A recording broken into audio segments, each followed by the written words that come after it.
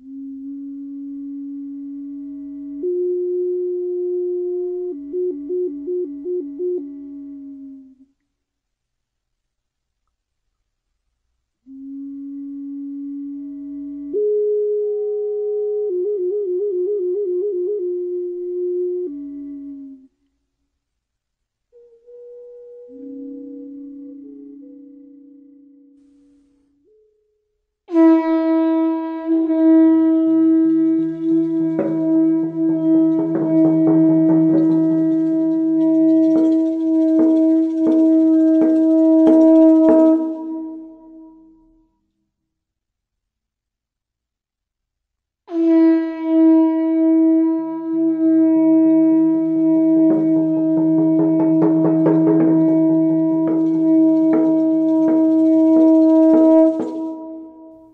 Es un dicho muy común que dice, que naturalmente desean todo saber.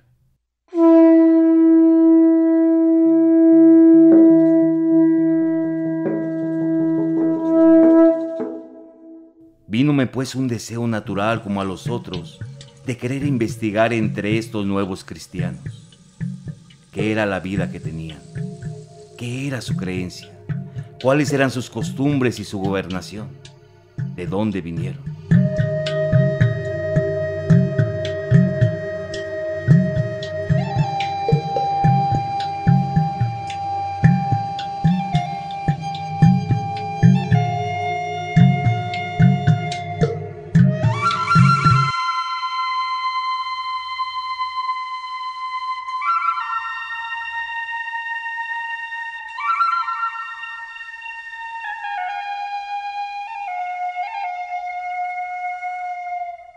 Entre los años de 1539 y 1541, un fraile franciscano asignado a la provincia de Michoacán redactó por órdenes de Antonio de Mendoza, primer virrey de la naciente Nueva España, un documento sin precedentes en estas tierras, la recopilación, ordenamiento y redacción de la historia, política, religión y organización social de los antiguos habitantes de Michoacán.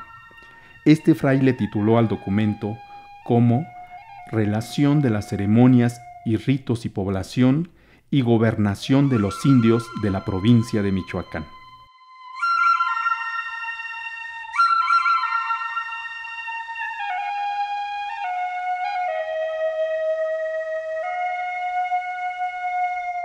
Pues ilustrísimo señor virrey don Antonio de Mendoza, esta escritura y relación presentan a vuestra señoría los viejos de esta ciudad de Michoacán y yo también en su nombre, no como autor, sino como intérprete de ellos.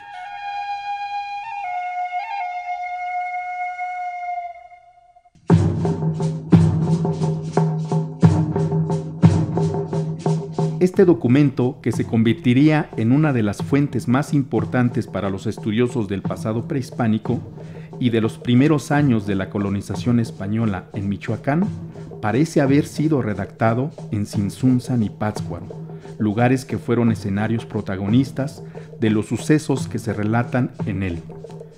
Tuvo como principal sustento informativo una tradición oral antigua que los sabios ancianos guardaban.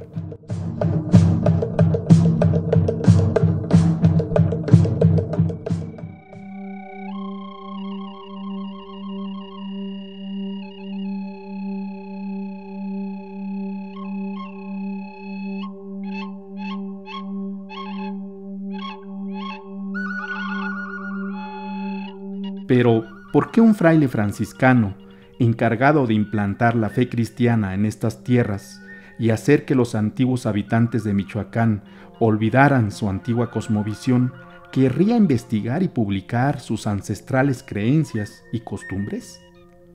¿Por qué un virrey encargado de hacer la voluntad del rey de España en las tierras recién conquistadas le mandaría a un hombre religioso tal tarea?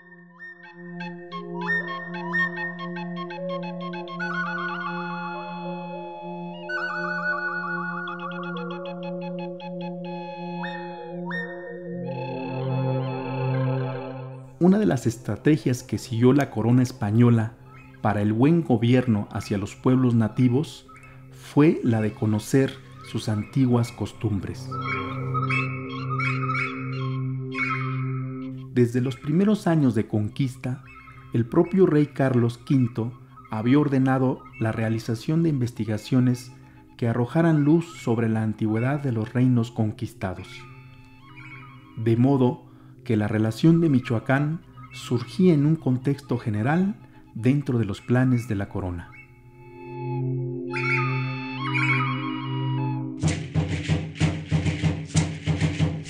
A finales del año de 1539, el virrey Antonio de Mendoza hizo una visita al occidente de la Nueva España. En su paso por la provincia de Michoacán, se entrevistó con un fraile franciscano, el cual, habiendo estado en la región desde 1533, conocía las costumbres y el idioma de los antiguos habitantes de Michoacán.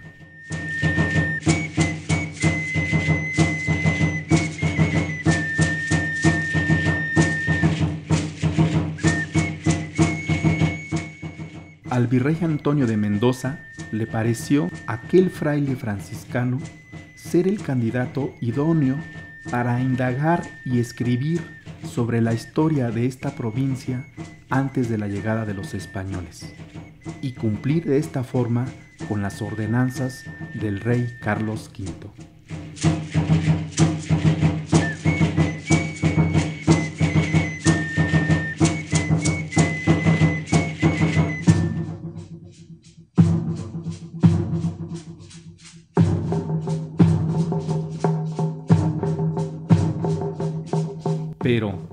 ¿quién era aquel fraile franciscano que en el prólogo de la relación de Michoacán confiesa que antes de la petición del virrey tenía un deseo natural de querer investigar las costumbres y los orígenes de los antiguos michoacanos? Así pues, esta relación que ahora os encargo es de gran importancia para mí, para su majestad el rey y para el buen gobierno de estas nuevas tierras. Será como usted dice eso,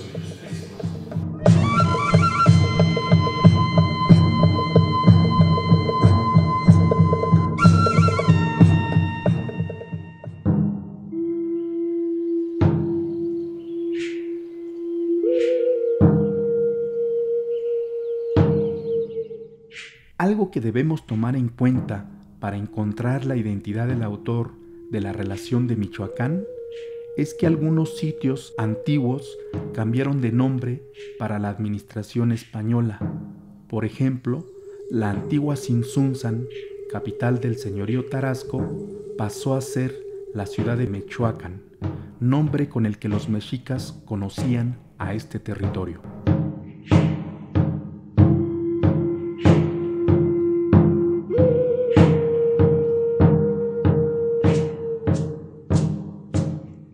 Son repetidas las ocasiones en que el autor de la relación de Michoacán da como referencia de su ubicación a la ciudad de Michoacán, aunque debemos mencionar que también da como referencia a Pátzcuaro. Las fuentes históricas del siglo XVI señalan a los franciscanos como única orden religiosa residente en estos lugares por aquellos tiempos.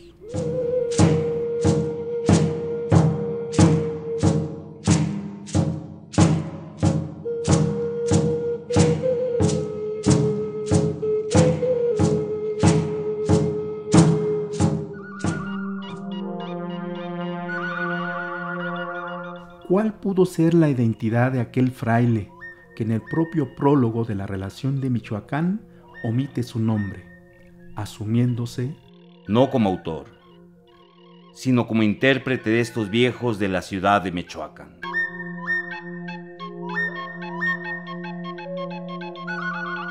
Aunque se han propuesto diferentes nombres para identificar al autor de la relación de Michoacán, ninguno parece ser convincente cuando se trata de ubicarlo en los tiempos en que se redactó el documento.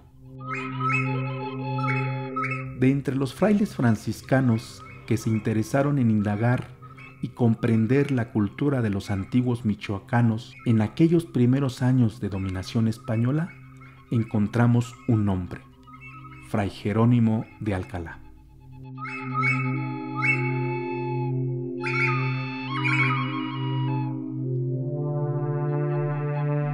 Los documentos históricos de la primera mitad del siglo XVI ya registran a un fray Jerónimo con el apellido de Alcalá, permitiéndonos relacionarlo con el único fray Jerónimo que estuvo en Michoacán desde fechas tan tempranas como 1530 y que, además, había sido el primero que escribió y supo la lengua de Michoacán.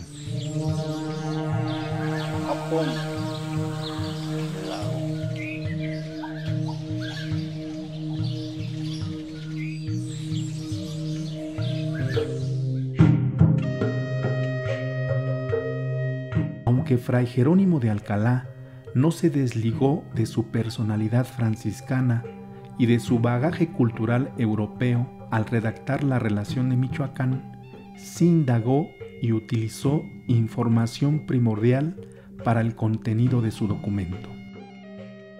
Los antiguos sabios michoacanos le contaron principalmente la historia y la mitología del linaje de los Huacusuch, las águilas.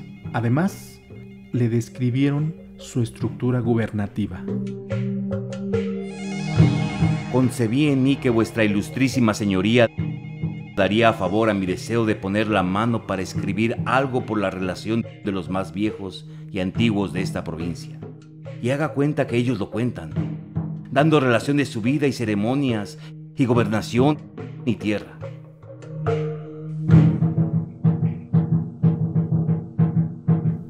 ¿Cuál es el contenido de la relación de Michoacán? ¿Cómo está estructurada la información? Aunque el documento presenta diferentes tipos de letra y diferentes estilos en sus láminas, todo parece indicar que Fray Jerónimo de Alcalá fue quien organizó y sistematizó la información, teniendo a varios amanuenses como ayudantes en la redacción final.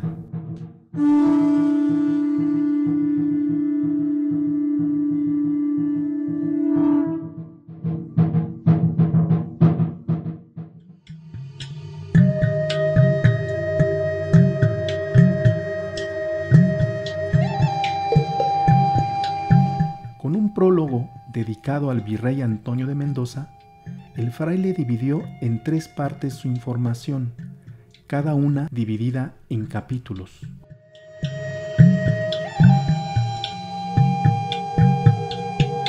Ilustrísimo señor, vuestra señoría me dijo que escribiese de la gobernación de esta provincia. Yo, porque aprovechase a los religiosos, saqué también de donde vinieron sus dioses más principales y las fiestas que les hacían lo cual puse en la primera parte. La primera parte de la relación de Michoacán está dedicada a los antiguos dioses, su origen y las festividades que les hacían. Esta, por desgracia, se encuentra mutilada y solo se conserva una foja del contenido original. Aún así, en la segunda y tercera parte del documento se filtra información sobre los dioses y sus festividades, lo que nos da una idea del contenido faltante.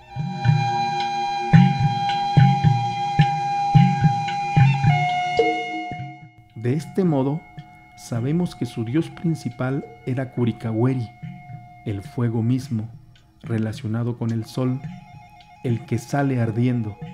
Se le representaba en los altares por una punta de obsidiana. Este dios guerrero visitaba la tierra en forma de águila, venado o algunas veces como hombre. En su nombre se desarrollaba toda la vida del señorío tarasco, las guerras y las alianzas diplomáticas. La historia de los Wakusoch era la historia del dios Kurikaweri y el Kazonsi o rey era su representante en la tierra.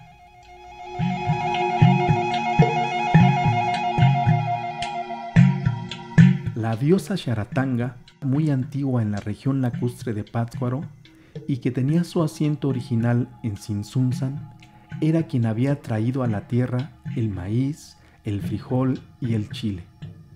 Esta ancestral diosa fue adoptada por los Wakusuch y convertida en guerrera, quien junto a Kurikaweri presidía a los batallones en las guerras.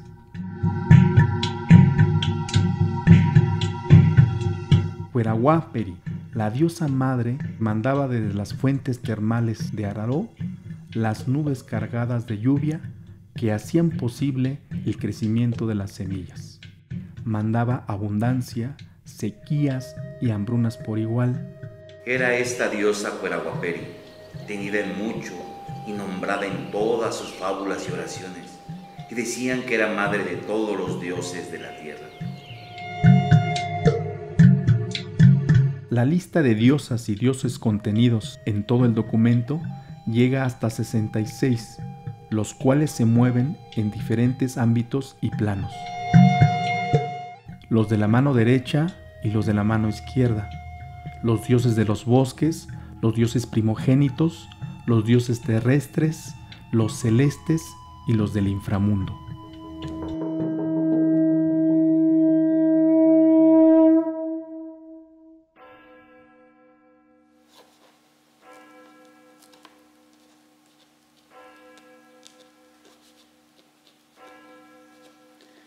Síguese la historia. ¿Cómo fueron señores el Cazonzi y sus antepasados de esta provincia de Michoacán? La narración de la fiesta Ecuat abre la segunda parte de la relación de Michoacán. En esta celebración se hacía justicia general a los infractores de diversa índole y su importancia era mayor, pues el Petamuti, sacerdote mayor de la antigua religión, narraba la historia de los antepasados, estando ahí reunidos en Sinsunzan, el Cazonzi, los principales de las provincias y mucha gente del pueblo.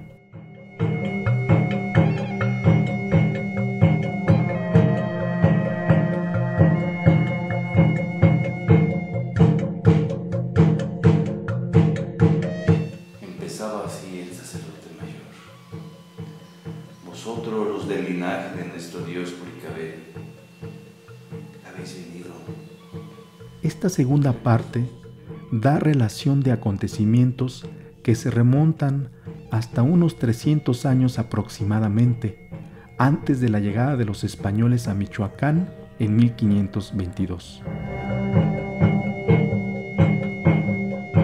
Nos habla inicialmente de cómo Iret Ticatam, el primer huacús que llegó a la región central de Michoacán, trajo al dios Curicahueri hasta el cerro Huirunar Pecho, en las inmediaciones de Zacapo. De esta forma comenzó la expansión del linaje huacús, quienes también son llamados e identificados como chichimecas en la relación de Michoacán.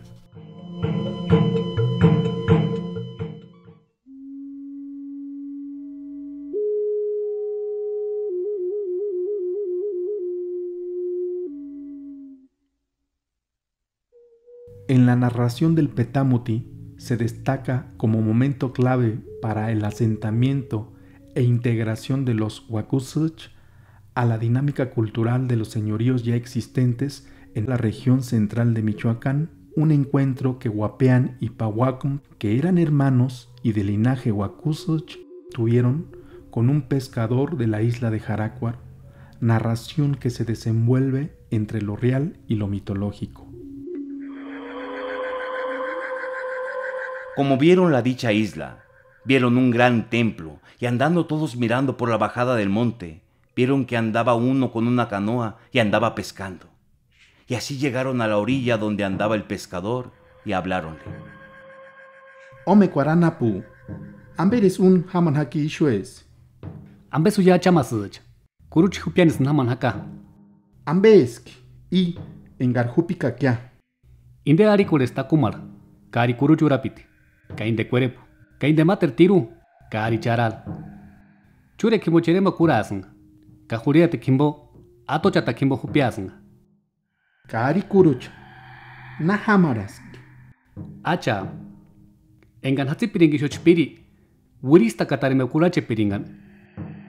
Y sacando guapeani, fuego de un instrumento, el pescador andaba sudando de asar pescado, y ellos comieron de aquel.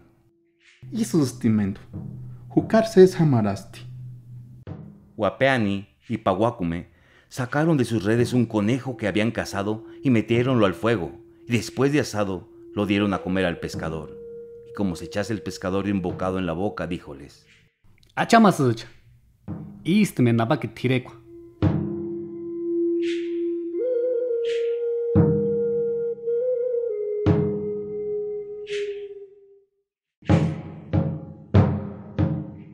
Después de compartir la comida, los Wakusuch y el pescador hablaron sobre los dioses de la isla de Jarácuaro, dándose cuenta de que los moradores de aquel señorío y de las otras islas eran de su misma lengua y origen. El pescador de Jarácuaro dio una hija a Pahuacum con quien se casó. El fruto de este matrimonio sería el nacimiento de uno de los personajes más importantes en la historia de los michoacanos prehispánicos, Tariacuri.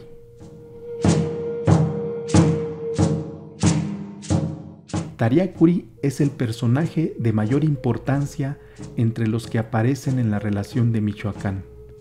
Y de los 30 capítulos que conforman la segunda parte, 22 tratan sobre su vida.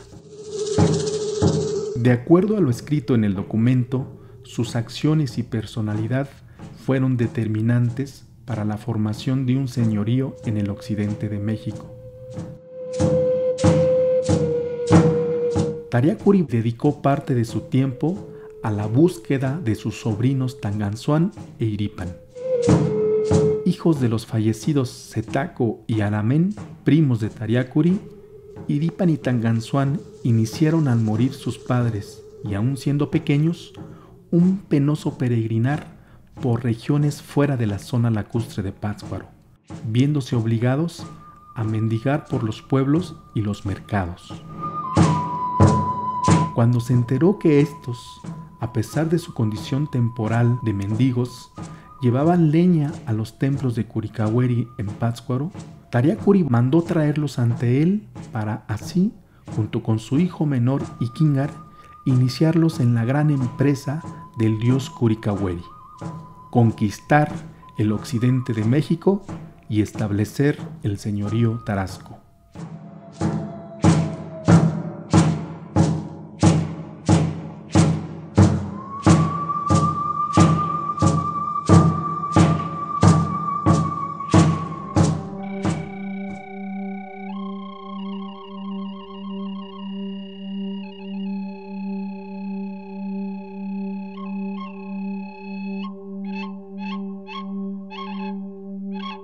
La tercera parte de la relación de Michoacán nos da una información que podríamos subdividir en dos partes.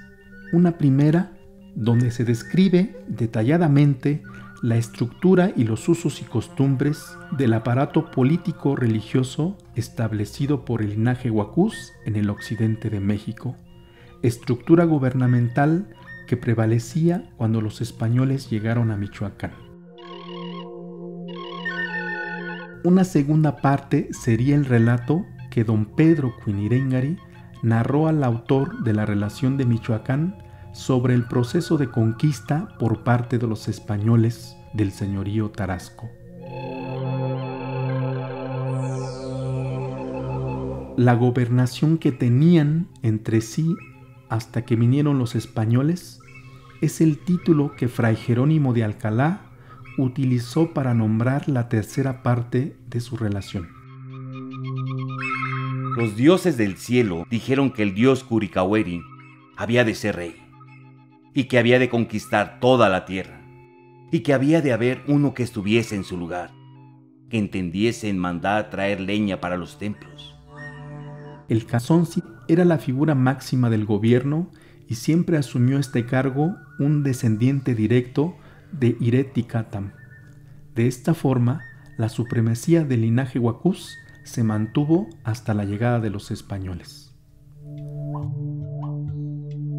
Además de ser la cabeza del gobierno y emprender guerras de conquista sobre otros territorios, el Canzonsi tenía una responsabilidad vital, hacer traer leña para mantener siempre encendido el fuego del dios Curicahueri, responsabilidad que de no acatarse podría desestabilizar el señorío.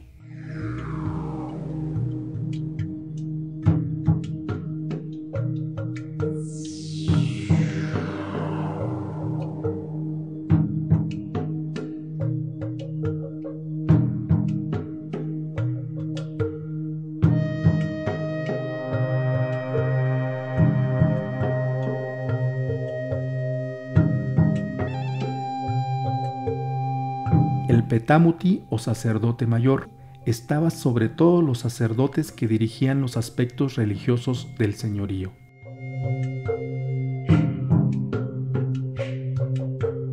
Él era el encargado de narrar al pueblo durante la fiesta de Ecuatconsquar la historia del dios Kurikaweri, que era a su vez la historia de los Huacús.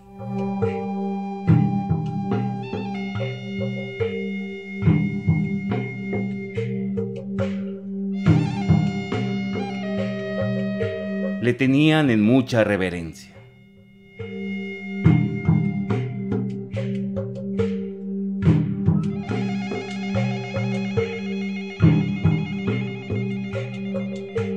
La relación de Michoacán también nos habla de cómo combatían y conquistaban a otros territorios, de los que morían en la guerra, del matrimonio, de la forma en que se designaba a un nuevo Cazonsi y los ritos funerarios que se ofrecían cuando moría.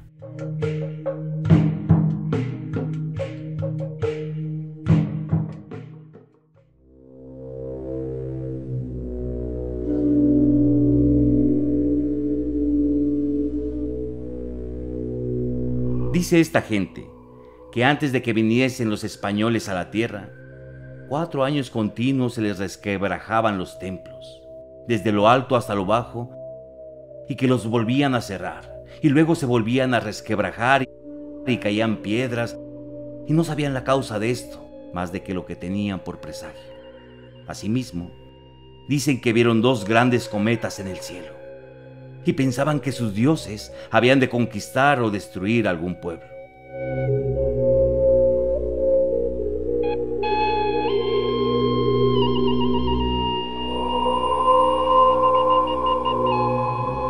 Respecto a la conquista del señorío Huacús, en la tercera parte de la relación de Michoacán, el relato comienza con los agüeros, acontecimientos extraordinarios que presagiaban el fin del dominio de los Huacuzos. Sueños, apariciones de cometas, enfermedades que no conocían y sobre todo el extraño suceso acontecido a una mujer del señor de Araró llamado Wikish. Aquella había sido poseída por la diosa Cuerahuaperi y llevada por el mismo dios Kurikaweri a una reunión de los dioses en el monte Shanoat Jucasio donde se prevenía sobre la llegada de los españoles y la pérdida del señorío.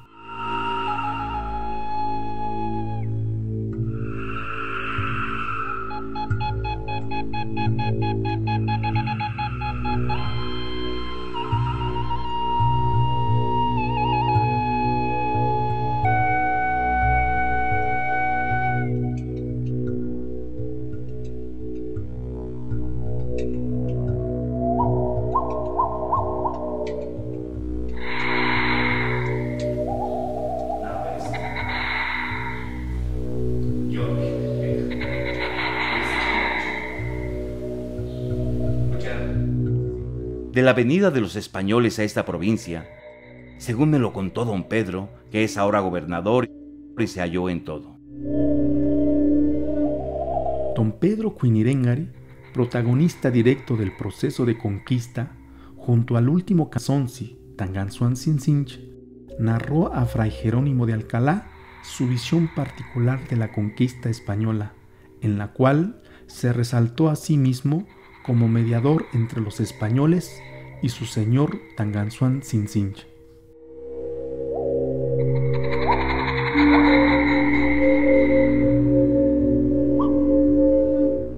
En su relato, don Pedro Quinirengar mostró su aparente apego y amistad con los españoles, pues en él narró cómo convenció al Cazonsi de no enfrentarlos militarmente.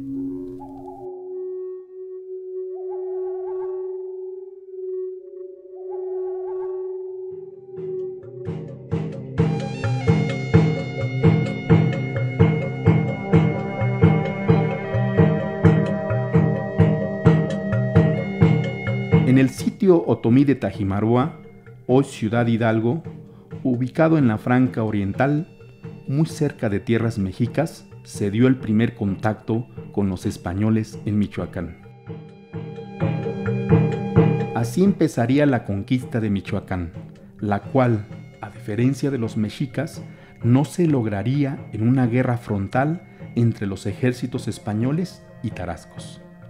Las tensiones y diferencias entre la nobleza tarasca al momento de la llegada de los españoles a México les facilitó a estos su entrada a Michoacán.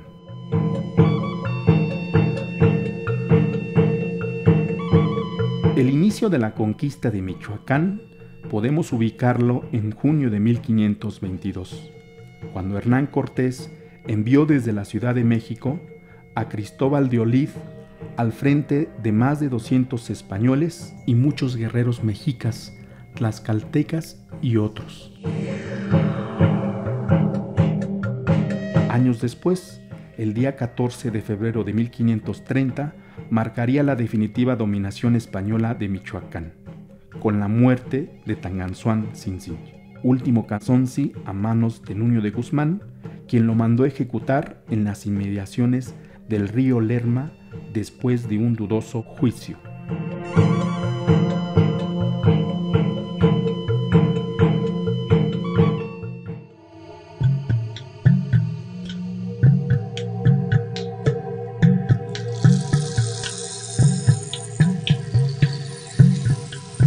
Si bien la relación de Michoacán no es la única fuente que nos da información sobre el Michoacán prehispánico y los primeros años de la colonia, sí es la fuente del siglo XVI más extensa y la única que nos da información obtenida de primera mano, en donde se recopiló, sintetizó e interpretó el conocimiento de lo que podemos considerar histórico, dándonos un panorama general del Michoacán antiguo.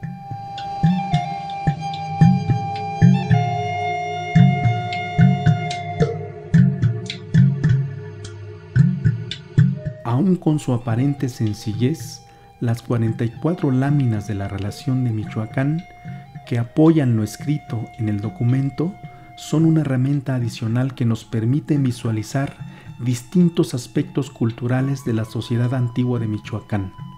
Es significativo notar que en algunas de ellas se representan rasgos que no se describen en el texto, lo cual incrementa su importancia, pues no se limitan a mostrar lo que el fraile relató, además de que funcionan como una comunicación visual similar al de los antiguos códices.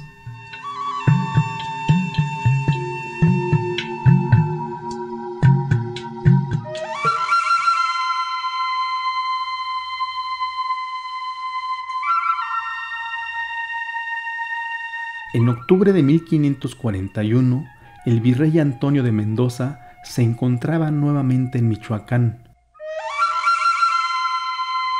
Parece ser que en esta ocasión Fray Jerónimo de Alcalá le hizo entrega de la relación de Michoacán junto con don Pedro Cuinirengari y varios sacerdotes antiguos.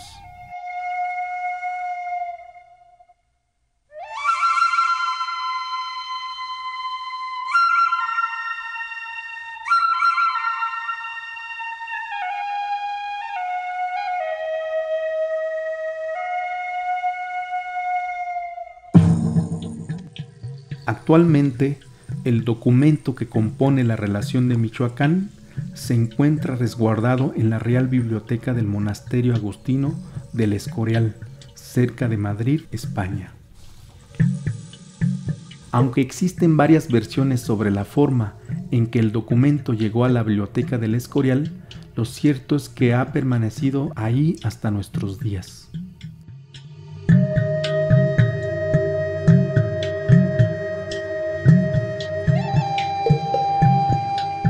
Si bien la información contenida en la relación de Michoacán obedecía a un fin práctico para facilitar el gobierno de los habitantes de las nuevas tierras adquiridas por la corona española, su trascendencia ha sido más duradera. Veinte años antes que Fray Bernardino de Sagún comenzara su monumental obra sobre la cultura náhuatl, un fraile franciscano llamado Jerónimo de Alcalá sería uno de los primeros europeos en interesarse por desentrañar y guardar para las futuras generaciones la historia antigua de los habitantes originarios de Michoacán.